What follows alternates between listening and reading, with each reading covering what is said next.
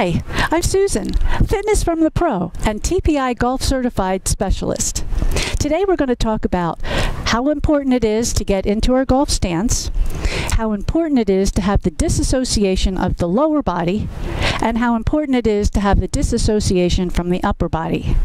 It's imperative to have a really good golf swing that gives you power and distance if you have the proper body mechanics to execute the golf swing. That is, you get the power from the ground and it goes into your hips, into the thorax, into that lead arm, and finally into the, the golf shaft. So let's start off with our pelvic tilts to help us get into the proper golf posture. So I like to I like to uh, demonstrate this by having my index fingers and I'll put my index fingers on the top of my hip bones and then take those thumbs on the bottom of your ribs.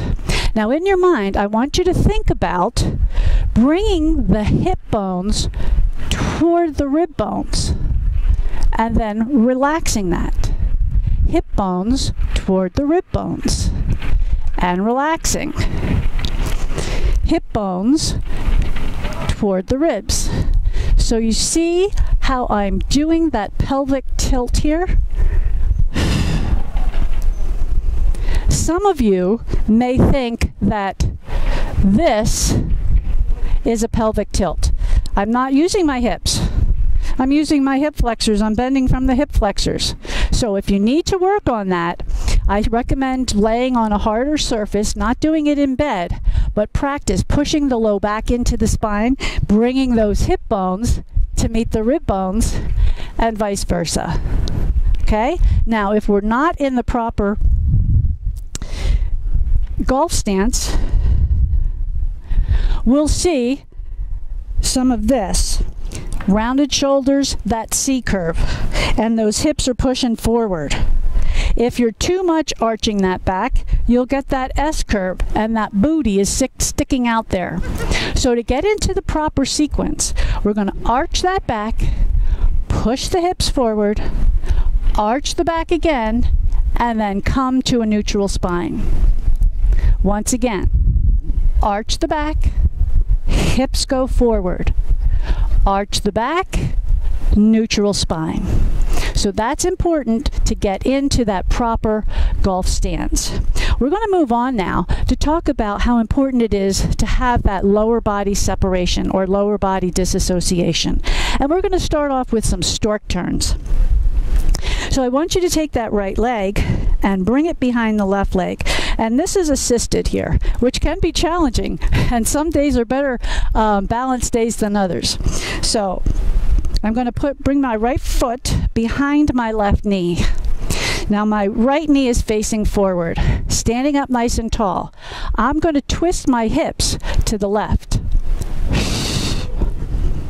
Easier said than done.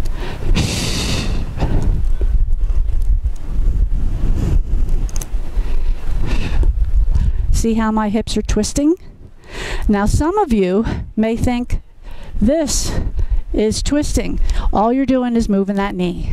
Standing tall, engage your core, rotate, rotate. Good. Now we're going to switch that. I find it easier just to have the golf club on one side than the other. So we're going to take that left leg and bring it behind the right leg. My knee is facing forward. I'm standing up nice and tall. Once again, notice my hips. My shoulders are staying stationary, but my hips are going to be moving.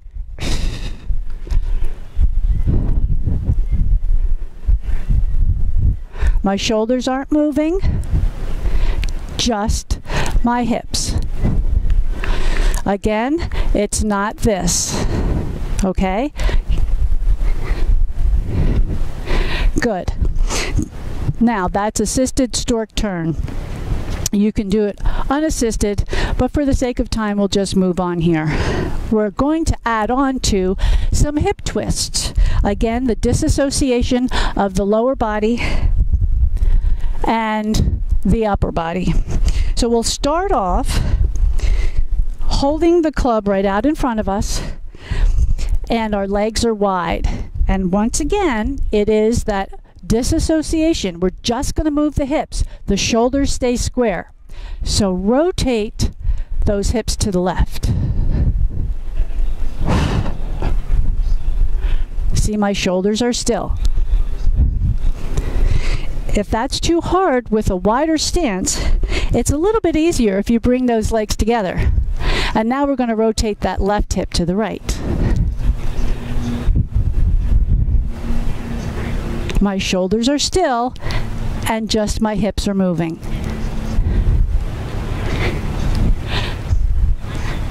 Your hip twisters. Let's move on now to the upper body separation or disassociation. We're going to put the club down for now and I want you to cross those arms in front of you right on your shoulders and let's get into that that golf posture. What do we do? We push the booty back, we tuck under, we arch that back again, and come into a neutral spine.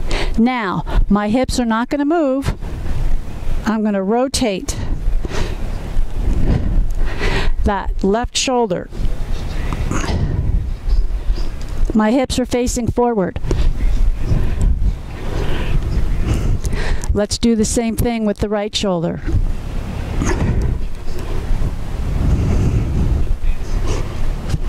My hips aren't moving.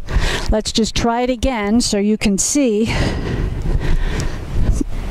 Hips don't lie.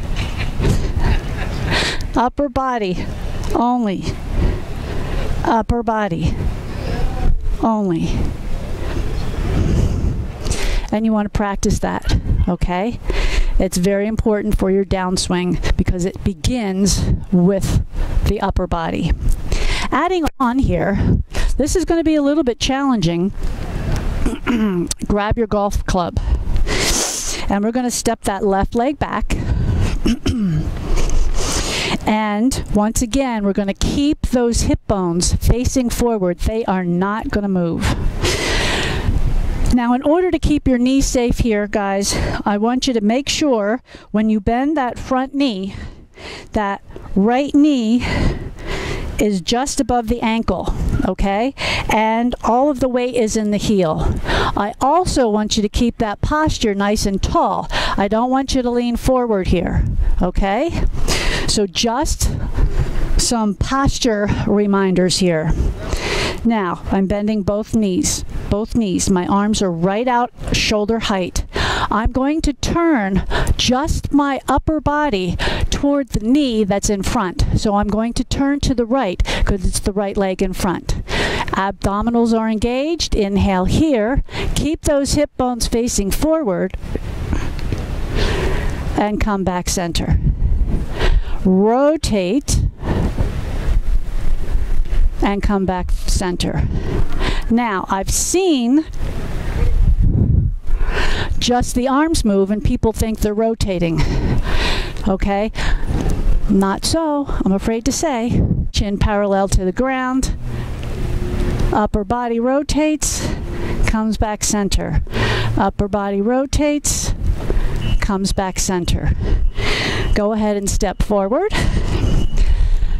And now we're going to have that right leg step back. And again, please be mindful about that that knee protection, the weight's in that heel. Those arms are shoulder height. Shoulders are back. We're not leaning forward. The belly button is pulled into the spine. Now we're going to turn toward that left leg and center.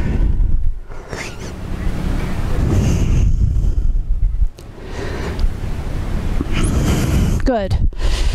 Once again, I want you to think about keeping those hip bones facing forward.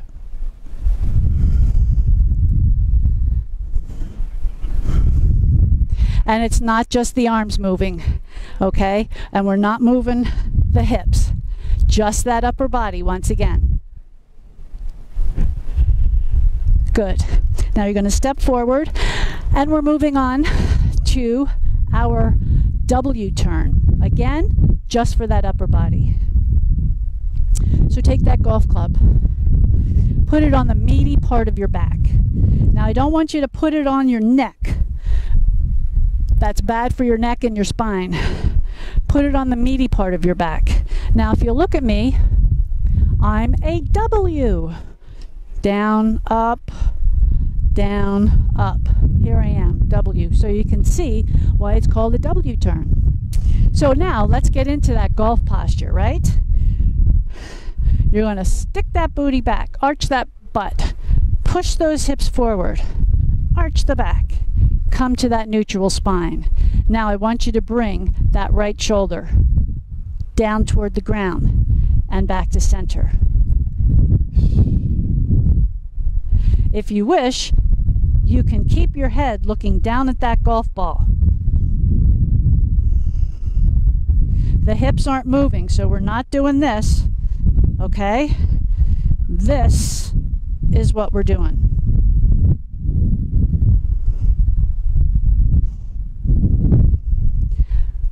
So let's do it on the other side. Once again, arch that back. Push those hips forward. Arch the back again. Come to that neutral spine. Now we're going to take that left shoulder down. My hips are not moving.